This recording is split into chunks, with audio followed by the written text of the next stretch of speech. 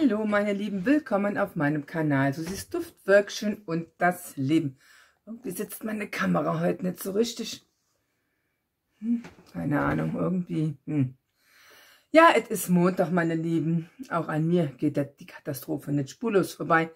Leider gab es gestern kein Video. Ich war gestern so platt. Ich war den ganzen Tag am Samstag unterwegs, wirklich von morgens bis abends. Und bin auch tatsächlich für meine Verhältnisse wirklich viel gelaufen. Ähm, ich hatte abends die Füße weh, ich war abends so kaputt. Und das hatte leider gestern auch noch ein paar Nachwirkungen. Also immer, wenn ich mich viel bewege, ähm, obwohl meine Knochen sagen nein, ähm, dann kriege ich meistens am nächsten Tag die Quittung. Und so war es dann auch gestern. Ich hätte gestern kein Video drehen können. Ich hätte dann hier die Treppe hochgemusst.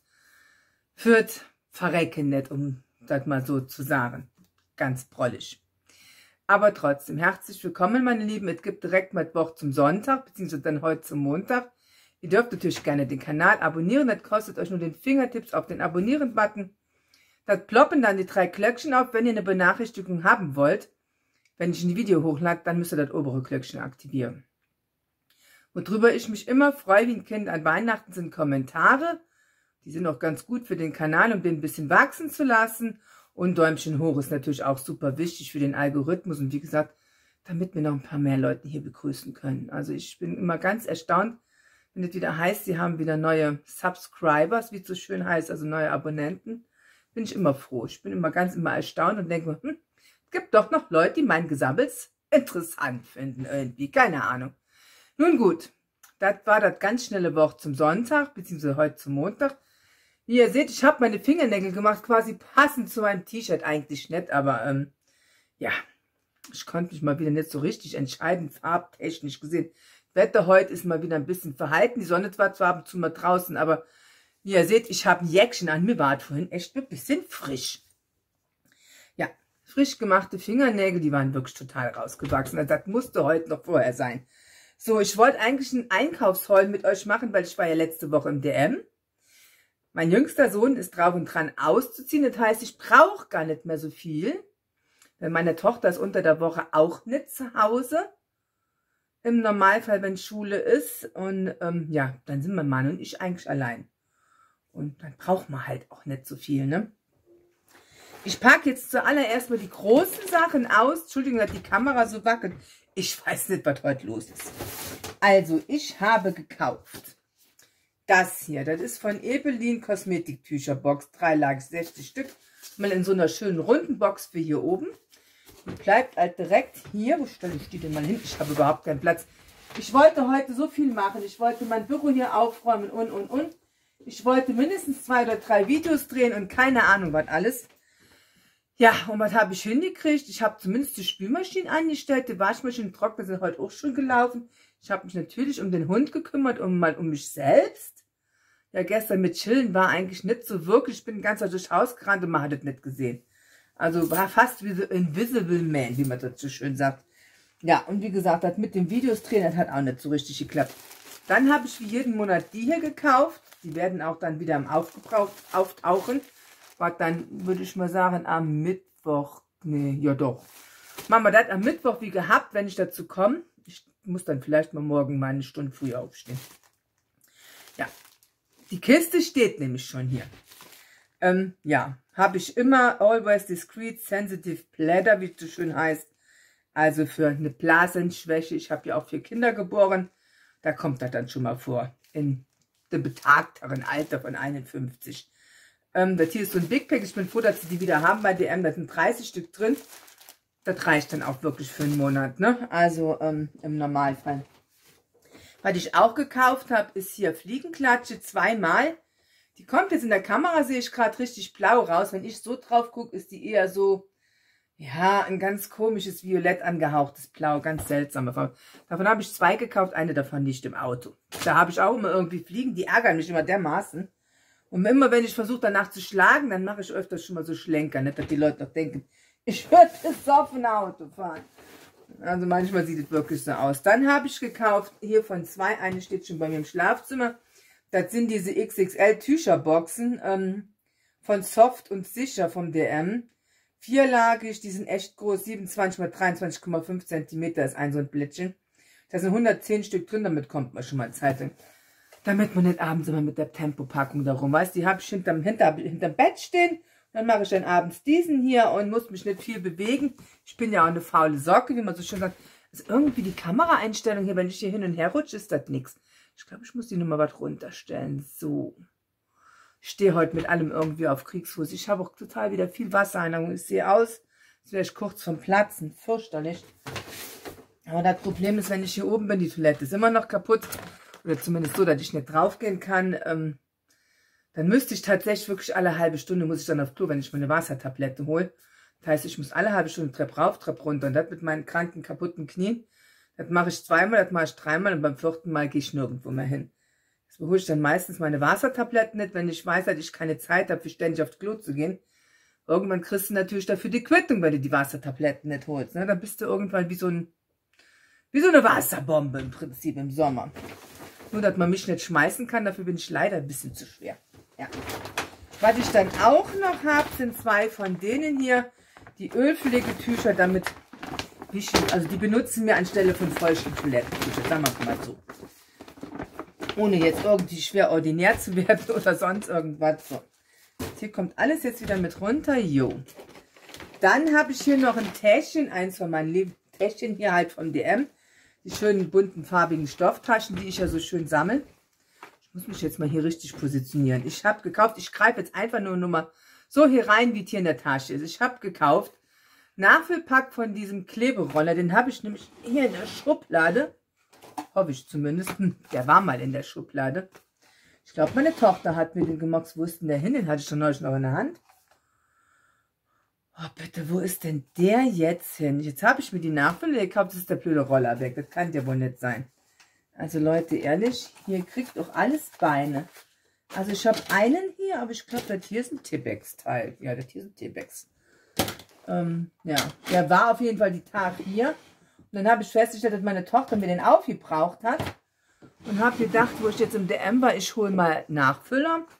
Jetzt habe ich die Nachfüller, jetzt ist der blöde Roller wieder auf Tour. Ich, ich sage jetzt nicht, was ich jetzt sagen wollte, aber ehrlich, ich mich, das fuchst mich gerade ganz immens. Also, ähm, ja. Dann habe ich gekauft die hier, das sind ähm, von Dokas äh, Kaustangen mit Hühnerbrust. Die sind so außen rum gewickelt. Die hat unser Hund allerdings schon alle gefressen. Das sind nämlich die kleinen. Ähm, das dauert ungefähr eine Minute, dann sind die spätestens weg. Also normalerweise 30 Sekunden. Kommt immer drauf, wie sie gebunden sind.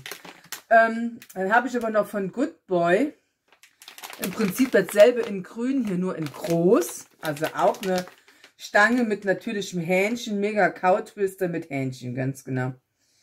Ähm, ich würde mal sagen, maximal 15 Minuten, dann ist das hier weg, weil wir haben einen großen Hund. Ne? Also das ist ähm, eigentlich auch nur, damit ich wenigstens ein bisschen mal Ruhe habe beim Essen, sonst sitzt die vor mir und dann sabbert die mir das ganze Bett voll, die tropft dann echt wie ein Wasser Weil die dann immer bettelt und ich ihr dann nichts mitgebe, weil die hat ein ganzes Buffet und ja.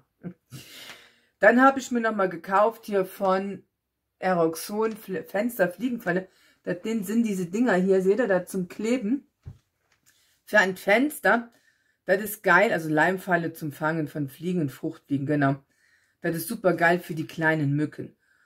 Und die machen, wenn, wenn du dir auf, zum Beispiel hier vorne, ähm, ist unsere Sonnenseite. Das heißt, wir haben von morgens 10 bis abends um 8 Sonne da. Also quasi den ganzen Tag. Und wenn ich da irgendwas dran klebe und die Sonne klatscht mit den ganzen Tag auf das Fenster, ähm, du hast deine Klebereste und das ist hiermit halt nicht so, ne? Da ist irgendein spezieller Kleber dran, der halt rückstandslos auch wieder abmachbar ist mit dem Dingen.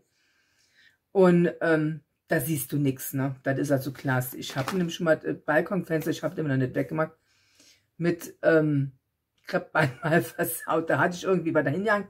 Ich glaube ein Handtuch, damit der Hund nicht immer oben sieht, wenn unsere Nachbarn hin und her laufen. Mittlerweile ist alles zugewachsen, aber die saß dann echt abends da, lag auf ihrer Couch, guckte dann so von unten, so quer durch unsere Balkontür, die hinten rausgeht in Richtung oben Wiese, quasi unseren Nachbarn hier oben drüber auf die Tür. Und jedes Mal, wenn da das Licht anging oder wenn abends einer in der Küche hin und her huschte und da war das Licht an Oder wenn die Besuch kam oder einer rein raus, dann hat unser Hund angefangen zu bellen. Egal um welche Uhrzeit. Und dann war ich jetzt irgendwann so satt, dann habe ich ein Handtuch hingehangen mit, ich hatte nichts anderes, da habe ich dann ähm, Kreppband geholt und ähm, ja, habe mir damit natürlich prompt das Fenster versaut. So, dann musste ich jetzt mal gerade ein kleines Päuschen machen, aber ich bin wieder da. Also Pause habe ich nicht gemacht, ich musste nur gerade jemand was fragen. So, ich sitze hier total bescheiden, muss ich sagen.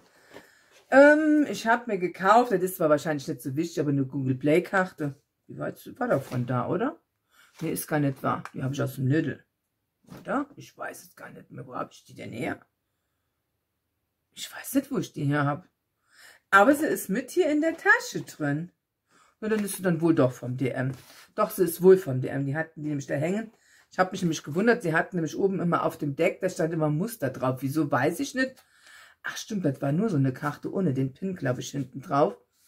Wenn hier steht nämlich komischerweise nichts drauf. Ja, das ist alles ein bisschen komisch manchmal. Aber die funktionieren auch nicht immer, da muss man echt gut aufpassen. Also bei solchen Karten bitte immer die Kassebon, obwohl er ist ja dann auf der App. Ich scanne ja immer meine App ein, also quasi die Kundenkarte und dann ist da immer alles drauf, da verliert man auch nichts. Das ist nämlich auch schon vorgekommen, dass die Karten nicht gingen und dann hat, hat man einen Zettel verloren oder hatte gar keinen. Da hast du dann Pech gehabt. Ähm, was ich auch mal mithole, ist hier Melatonin Plus, Schlafkomplex mit Valtrian und L-Tryptophan und halt ein Milligramm Melatonin pro maximale Tagesdosis. Ja, das sind halt so die preiswertesten, die man finden kann, die tun ihren Dienst. Ich meine, wenn Melatonin drin ist, dann ist es gut, ne? Also ich habe nämlich manchmal schon so ein bisschen Einschlafprobleme abends, wenn mir so viel im Kopf rumgeht und da sind die eigentlich ganz gut. Ähm, was ich mir auch mal gekauft habe zum Ausprobieren, wobei ich ehrlich gesagt, weiß ich nicht, ob das was ist. Ähm, das habe ich mir diesmal mal mitgebracht ähm, von Doppelherz Aktiv Kollagen mit Biotin und Q10. So, hier sind jetzt 1000 Milligramm Kollagen drin, nur einmal täglich für Haut- und Bindegewebe plus 40 Gramm Vitamin C, Kupfer und Mangan, ist ja alles ganz gesund. Da sind 30 Tabletten drin, also quasi für vier Wochen. Und ja, ich bin mal gespannt. Das ist ja all, in aller Munde, das mit dem Kollagen, mit dem Glow-Kaffee und wie das alles so heißt. Und die einen sagen, ist Quatsch, die anderen sagen, naja, es hilft dann schon. Guck doch mal die Leute an, die das schon 20 Jahre machen. Sowas wie Jennifer Aniston oder sowas. Naja gut, die Frau hat sich wirklich kaum verändert. Ne? Muss man jetzt nur mal einfach so sagen. Aber ich denke mal, die hat auch gute Gene und macht viel Sport und ist gesund und so weiter und so fort. Und trinkt viel Wasser. Ähm, mal gucken, ob es was sich was tut, aber ich denke mal, da wird man tatsächlich erst ähm, Ergebnisse sehen, wenn man dann mal so zwei, drei Monate gemacht hat. Wobei ich sagen muss, viel Falten im Gesicht habe ich ja nicht. Gut, jetzt hier oben natürlich, die sieht man jetzt so in der Kamera auch gar nicht. Und das Licht ist natürlich dann schon, schon schön. Ich habe natürlich hier, weil ich hier immer meine Augen hoch mache und natürlich hier auch meine Lachfältchen und, und, und naja, gut, die Lider hängen auch schon ein bisschen runter. Schwerkraft tut ihres halt, aber mit 51 Leute, dann ist das eben so. Und ich, wie gesagt, ich mache nicht viel Sport, weil ich auch nicht kann. Nicht, dass ich nicht wollen würde, aber ich würde gerne, aber ich kann nicht einfach gesundheitlich nicht. Ich hatte morgen wieder so Rückenschmerzen. Ich habe erst mal eine halbe Stunde gebraucht, bis ich mich so weit bewegt bekam, dass ich an meine Schmerztabletten dran gekommen bin. Ich weiß nicht, wieso das so ist. Manchmal ist das so, da, ich, da wache ich morgens auf und habe Schmerzen wie, als würde ich ein Kind kriegen. Also Kinder kriegen war nicht so schlimm. Ich muss jetzt sagen, wie es ist. Ich habe da viel gekriegt. Ich weiß, wovon ich rede. Gut, das ist auch jedem selbst überlassen. Das Schmerz, Schmerzempfinden ist ja auch immer relativ. Wie gesagt, die probiere ich dann mal aus. Mal gucken, ob es was ist. Aber ich weiß nicht, woran man das sehen sollte. Na gut, ich habe ich, ich hab ganz schlechtes Bindegewebe. Also als der liebe Gott mich gemacht hat und äh, irgendwas verteilt wurde, vom Krips bis sonst irgendwas. Beim Krips, da war ich irgendwo in der Mitte. Und bei den Krankheiten war ich an erster Stelle und habe immer hier gerufen. Also ich habe das Einfache zu sagen, was ich nicht habe. Auf jeden Fall, ich habe ganz schlechtes Bindegewebe. Ich habe auch den Bauch, da sieht man überall die berühmten Schwangerschaftsstreifen. Die habe ich aber nicht nur da, die habe ich auch hier an meinen Winkearmen. Ich habe hier auch das Lipödem, Lip- und Lymphödem. Dementsprechend sehe ich auch aus und auch meine Oberarme sind davon leider betroffen. Das habe ich nie so richtig wahrgenommen. Naja gut, jetzt ist es zu spät. Ähm, wer mich nicht schön genug bin, der muss eben weggucken. Ich fühle mich aber wirklich im Moment sehr, sehr unwohl. Wie gesagt, ich bin voll Wasser. die Temperaturschwankungen, das ist auch nicht so richtig dolle. Nun gut, wie gesagt, ich probiere die aus und dann müssen wir mal gucken. Was ich auch habe, das ist echt durcheinander diesmal. Die Klassiker, die Klosteine kennen da ja auch schon. Die riechen aber wirklich gut. Also ähm, vor dem Spülen Mango, nach dem Spülen Kokos. Ich weiß nicht, ob die wirklich nach dem Spülen nach Kokos riechen, keine Ahnung, aber sie riechen einfach gut. Und ich finde es geil, dass sie keine Plastikverpackung haben, bis auf den Hängerchen für den Klo. Der muss ja nochmal, ne?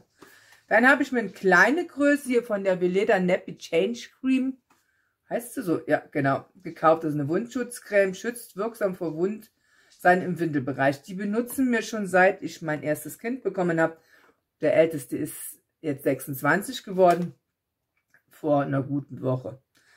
Und ähm, seitdem benutze ich das, ich habe das bei den Babys immer benutzt und ähm, wenn jetzt mal irgendeiner durch zum Beispiel, wenn man viel durch die Gegend läuft und die Kleidung scheuert, wird man natürlich wund und da benutzen wir die dann auch immer. Oder bei sonst irgendwelchen wunden Stellen oder hier auch bei diesen scheiß Ragaden, die ich irgendwie nicht loswerden will, ähm, da benutzt man sowas und dann ist das auch bald wieder gehalten. Also die ist wirklich echt gut. Die ist zwar nicht ganz billig, wie gesagt, das hier ist die kleine Größe, die kostet bald auf 2 Euro. Das hier sind, steht drauf, 30 Milliliter. Gibt aber noch eine etwas größere Tube, die kostet 5 Euro irgendwann. Ich weiß, als ich die erstmal benutzt habe, das war irgendein Tipp von einer, sozusagen von der Bettgenossin im Krankenhaus, als ich, glaube ich, das zweite Kind gekriegt habe oder was. Ähm, die hatte mir den Tipp gegeben, ich soll doch das mal benutzen, weil ich fand, dass die Kinder immer so eine Art Ausschlag bekamen, wenn man dann die normale Wundschutzcreme von Nivea oder Penaten oder was, ne, Penaten war, immer die blaue Dose, genau. Gab es ja früher mal diese riesen Tiegel mit so einem halben Liter, die der dann dann verbraucht. Das war ja früher in den 80er und 90er Jahren ja schon noch die Klassiker. Und die hat sie mir den Tipp gegeben und die musste ich damals tatsächlich in der Apotheke kaufen gehen. Und ich weiß noch, dass die große Tube damals über 10 Mark gekostet hat, also noch zu Markszeiten. Und das war echt damals, das war richtig viel, ne? Das ist so, wie wenn du heute 30 Euro für eine Creme bezahlst. Also das war richtig, das war ein Vermögen. Aber gut, was man nicht alles tut, wenn man Kinder hat, gell? So, die Tüte ist ungefähr leer. Was ich noch hier drin habe, sind eins, zwei von diesen Tüten hier. Das sind die äh, DM Bio äh, Datteln. Die sind entsteint. Ich glaube, die sind auch nicht ganz so süß. Ich meine, die sind ungezuckert. Ja, also das heißt ungezuckert, aber die sind ja an sich auch schon süß. Ähm, ich esse mich auch ganz, ganz Soft-Datteln, aber ich finde die manchmal so extrem süß, dass das echt schon zu viel ist. So, und ich würde mal sagen, die Tasche ist leer. Das war dann der schnelle Einkaufshaul für den Juni. Ich habe ja noch so viel im Backup vom letzten Monat. Nun gut, mein Mann ist unten und hätte gern was zu essen. Dann würde ich mal sagen, mach mal jetzt an dieser Stelle Schluss. Und ich hoffe, es hat euch gefallen und wir sehen uns am Mittwoch wieder. Und denkt dran, Däumchen hoch ist wichtig, Kommentare und wer mag und wer noch gern mehr sehen wird, der soll den Kanal doch bitte gerne abonnieren. Ja, bis am Mittwoch, meine Lieben. Tschüssi.